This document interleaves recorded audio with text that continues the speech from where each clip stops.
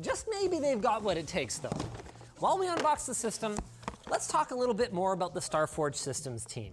It was created by a collection of Twitch streamers, notably Moist Critikal and One True King Network, which includes Asmongold. Mizkif, and a number of other notable streamers. Damn, bro. They just. Damn. No shot, bro. I mean, it's true, though. And a number of other notable streamers.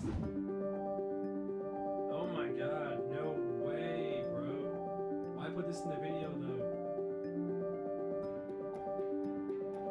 It's going to be run by the ex COO of Artesian Build.